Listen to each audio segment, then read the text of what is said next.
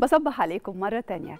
هيئة الأرصاد بتتوقع أن النهاردة الطقس هيكون بارد الصبح بدري ومعتدل بالنهار على القاهرة الكبرى والوجه البحري والسواحل الشمالية ومائل للدفء على شمال الصعيد وجنوب سيناء ودافي على جنوب الصعيد. إنما بالليل الجو هيكون بارد على أغلب الأنحاء والشديد البرودة على شمال الصعيد ووسط سيناء. كمان في أمطار خفيفة على مناطق من السواحل الشمالية وشمال الوجه البحري هتكون على فترات متقطعة. كمان في شبورة مائية الصبح قد تكون كثيفة أحيانا على بعض الطرق المؤدية من وإلى القاهرة الكبرى والوجه البحري والسواحل الشمالية ومدن القناة ووسط سيناء وشمال الصعيد. خلونا نعرف تفاصيل أكتر عن حالة الجو النهاردة من الدكتورة منار غانم عضو المركز الإعلامي بهيئة الأرصاد الجوية. صباح الخير يا دكتور. صباح الخير على حضرتك أستاذة لميا وصباح الخير على كل السادة المشاهدين. أهلا بيك يا فندم. أهلا بيكي وطمنينا عن حالة الطقس خصوصا إن إحنا اليومين دول شايفين يعني إن في درجة الحرارة بالنهار على الأقل أحسن شوية من قبل كده. بالفعل إحنا طبعا بنشهد تحسن واستقرار في الأحوال الجوية على كافة محافظات الجمهورية، درجات الحرارة تعتبر حول المعدلات الطبيعية لها في مثل هذا الوقت من العام، بتتراوح ما بين 20 21 درجة مئوية خلال فترة النهار على القاهرة الكبرى، الأجواء مستقرة تماما مع كمان في زيادة لفترات سطوع اشعه الشمس خلال فترة النهار فبالتالي بنحس بالأجواء المعتدلة خلال فترة النهار على القاهرة الكبرى محافظات الوجه البحري أيضا محافظات السواحل الشمالية للبلاد ويمكن كمان تعرضنا لأشعة الشمس فترة الظهيرة بيخلينا نحس بالدفء أكتر في المناطق الشمالية. المناطق الجنوبية شمال وجنوب الصعيد بتكون أعلى درجات حرارة من طبعا القاهرة الكبرى بتوصل ل 23 و 22 درجة على شمال الصعيد 25 و 26 درجة مئوية على جنوب الصعيد. فالأجواء دافية تماما في شمال وجنوب الصعيد وأيضا جنوب سيناء خلال فترة النهار. خلال فترات الليل لما أشعة الشمس بتغيب تبدأ درجات الحرارة تنخفض. بيكون فرق كبير بين فترة النهار وفترة الليل. بيوصل أحيانا في بعض المناطق ل 10 درجات. بتنخفض أكثر ساعات الليل فترة الصباح الباكر. درجات الحرارة في الوقت ده بتنخفض الأجواء بتكون باردة إلى شديدة البرودة على أغلب محافظات الجمهورية. ما زال التقيع بيتكون على المزروعات الموجودة في وسط سيناء نتيجة انخفاض درجات الحرارة خلال فترة الليل لأقل من خمس درجات.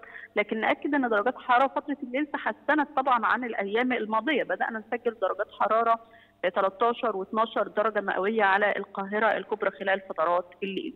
ده بالنسبة لدرجات الحرارة. بالنسبة للظاهرة الجوية اللي دايما مؤثرة معانا فترة الاستقرار في الأحوال الجوية. هو طبعا تكون لشبورة مائية على الطرق الزراعية والسريعة والقريبة من المسطحات المائية وبتؤدي لإنخفاض الرؤية الأفقية.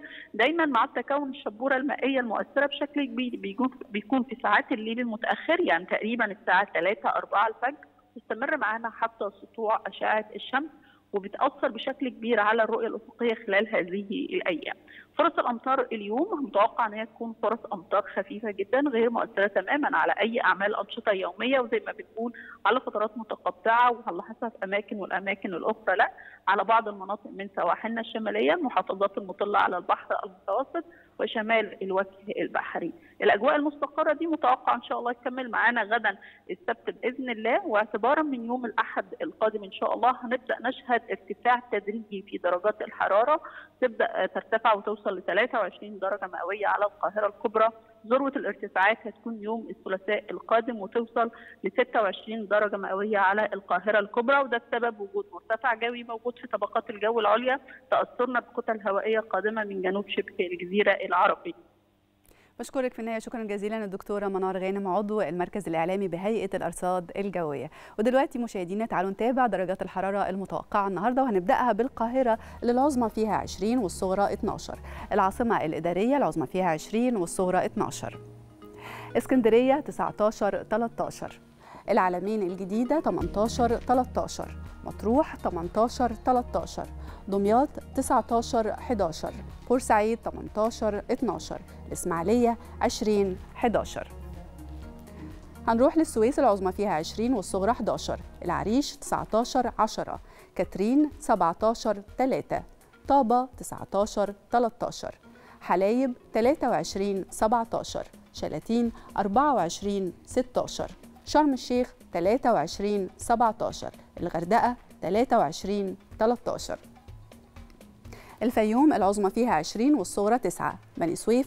21 9 الوادي الجديد 24 8 أسيوط 22 7 سوهاج 23 8 قنا 25 9 الأقصر 26 10 وأخيرا أسوان العظمى فيها 25 والصغرى 11 دي كانت درجات الحرارة المتوقعة النهاردة وكمان يعني تعليماتنا عن الأحوال الجوية النهاردة. الحمد لله درجات الحرارة في ارتفاع ومكملة معانا لحد الأسبوع اللي جاي إن شاء الله. بس الظاهرة الجوية الوحيدة اللي مكملة معانا هي الشبورة المائية. خلونا ناخد بالنا ونلتزم بالتعليمات المرورية عشان توصلوا بيوتكم وأشغالكم بألف سلامة. ومرة تانية هنرجع لمصطفى وجمانة نكمل معاهم باقي فقراتنا. نشكرك يا لميا شكرا جزيلا. شكرا لك يا لميا